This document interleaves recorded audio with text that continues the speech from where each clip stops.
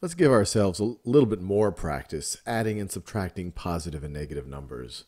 So let's say that we have the statement 4 is equal to negative 8 minus blank.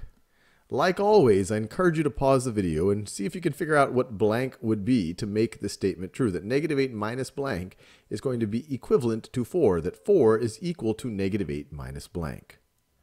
So now let's work through it together. And to help us, I will get a number line. So there's a number line right over there.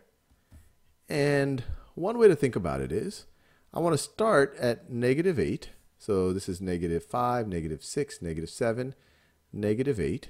I want to start at negative 8. And I want to do something to negative 8 to end up at 4. To end up at 4. So 4 is positive 1, 2, 3, 4. So that's 4 right over there. So what, I need to, what do I need to do to get from negative 8 to positive 4? Well, let's see. I have to move to the right 1, 2, 3, 4, 5, 6, 7, 8, 9, 10, 11, 12. I have to move to the right 12 spaces. Or another way to think about it, to get from negative 8 to positive 4, I have to, actually let me make sure I have some space up here. I have to add 12. Another way to think about it, to get from negative 8 to 0, you have to add 8. And then, then to get to from 0 to 4, you have to add another 4. So you have to add 8 plus 4, or 12. But how do you do that? Because they're saying negative 8 minus something should be equal to 4. Well, whatever you have over here, you want this to end up being equivalent to plus 12. So what can you do there? Well, you could subtract a negative. If you subtracted negative 12, this would be equivalent to adding 12. So notice, let me rewrite it. 4 is equal to, let me just write it without my boxes there, is equal to negative 8 minus negative 12. Well, what happens when you subtract a negative?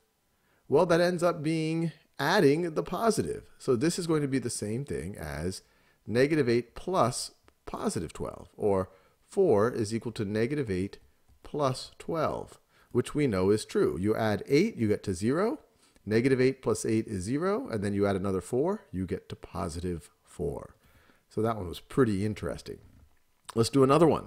We can't get enough practice. This is too much fun. All right.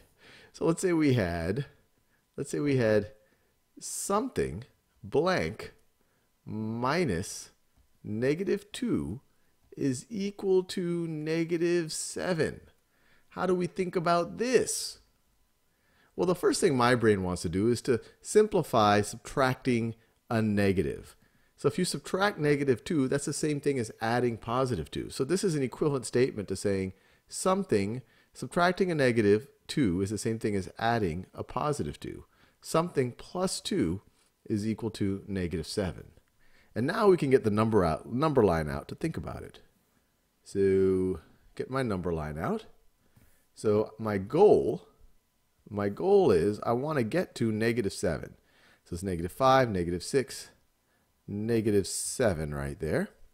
And I want to add 2 to something to get to negative 7. So if I'm adding 2, that means I'm jumping 2, I'm jumping 2 to the right. That's what adding 2 looks like. So what number do I need to start at that if I jump 2 to the right, if I add 2, I end up at negative 7? Well, I would have to start 2 to the left of negative 7. If I start 2 to the left, 1, 2, if I start at, let me do this in different color. If I start at this number right here, and if I add 2 plus 1 plus 2 plus 2, I end up at negative 7. Well, what number is this? This number that is 2 to the left of negative 7. Well, that's negative 9. So this right over here is negative 9. Negative 9 plus 2. So if you start at negative 9 and you move 2 to the right, you end up at negative 7. Or you could say negative 9 minus negative 2. Because if you subtract negative 2, you're going to move to the right. If you subtract positive 2, you move to the left. But then if you subtract negative 2, you move 2 to the right, to negative 7. Another fascinating one. Let's do one more of these. I'm, I'm having maybe a little bit too much fun. All right. So let's say we have negative 4 is equal to blank minus 9. So let's get the number line out. And always pause the video, see if you can try it on your own. but let's let's get my number line out. And so let's think about it. Our goal, we want to take some number, subtract 9 from it, and get negative 4. So we want to get negative 4.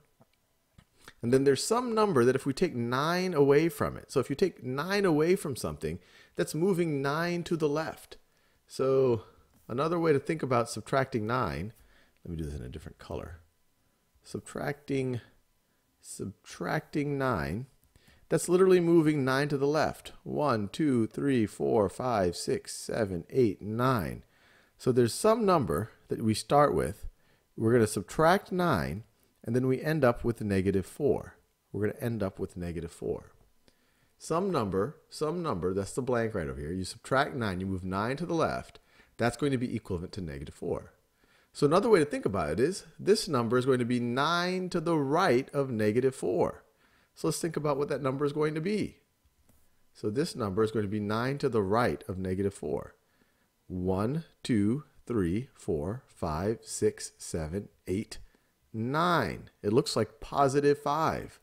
So let's let's let's see if we're right about that. If we start at positive 5 and we subtract 9, so let's do that.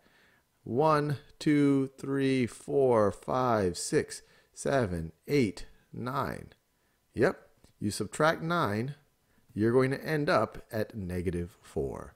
So negative 4 is equal to 5 minus 9.